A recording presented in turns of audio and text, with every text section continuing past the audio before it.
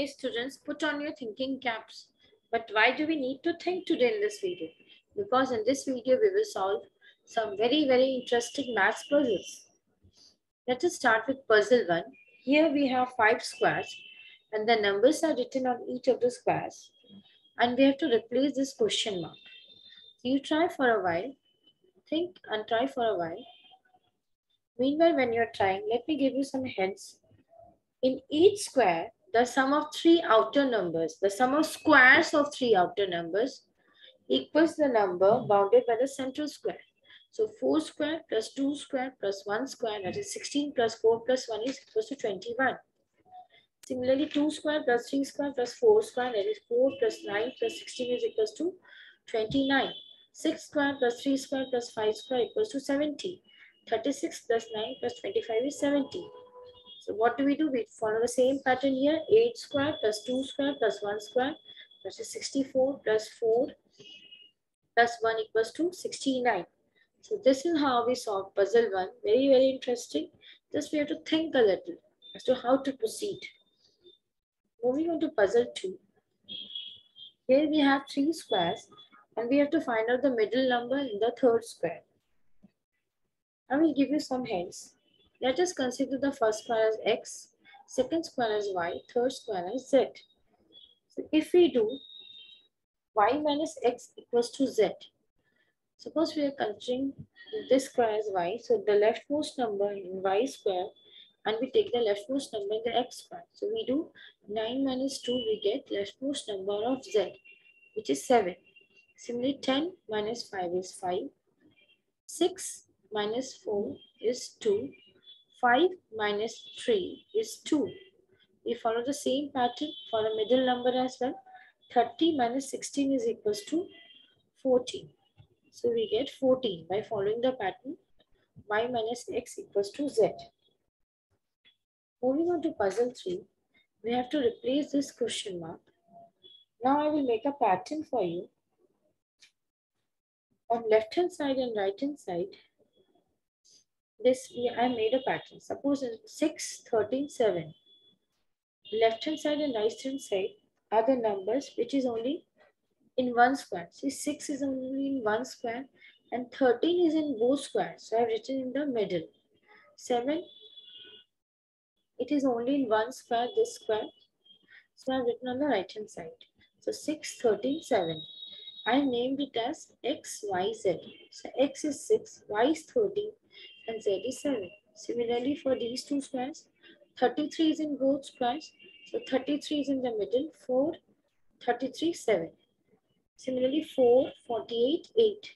48 is in both squares, this square and this square. So 4, 48, 8. Similarly, 5, I leave a gap here and I write 8. So this, I am considering this as Y. So I made the pattern X, Y, Z the number which is repeated in both squares, which is a part of both squares, I have written in the middle. Now let us proceed. If we do y equals to z square minus x square, we can find this. How? So z is the right hand side and x is the left hand side. So 7 square minus 6 square. So 49 minus 36, we get 30. So we get 30. Similarly here, 7 square. So Z is 7, X is 4. So we find out Y that is the middle number. 49 minus 16 is 33. Similarly, 8 square minus 4 square we get 64 minus 16 is 48. Similarly, in order to find this, what we do is 8 square minus 5 square. That is 64 minus 25 is equals to 39. So this question mark is replaced by 39. So this is how we need to solve puzzle 3. Puzzle 4 is very easy, but we, you know, most of the children, they give wrong answers. First and foremost, we'll start with the division. Usually children, what they do?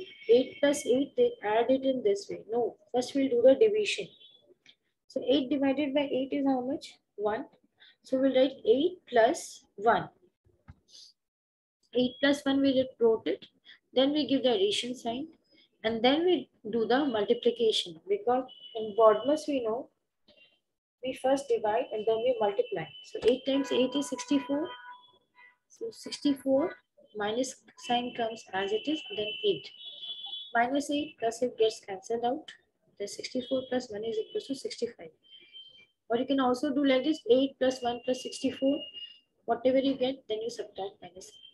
Usually what children do, they add 8 plus 8. No, first we will do the division and then we do multiply and then we do the remaining addition and subtraction. Clear? Very easy. Divide 50 by half and add 10. So what students do is they will divide straight 50 by 2 which is equal to 25 and then they will add 10 and they get 35. No. When you're supposed to divide 50 by half, you are not supposed to divide 50 by 2, 50 by half. So what happens? 2 will go in the numerator. So it becomes 50 multiplied with 2. If you are supposed to divide 50 by 2, then it's 25. But you are supposed to divide 50 by half. So 2 will come in the numerator and it will be multiplied with 50. So 50 times 2 is 100. 100 plus we add 10 now. So 100 plus 10 is 110. So this is how we solve puzzle 5. Very interesting. But in this puzzle also, it will be given any number. You should be very little careful that you have to divide by half or 2. Thank you for watching my video. If you like my video, do subscribe and don't forget to press the bell icon. Bye bye. Have a great time.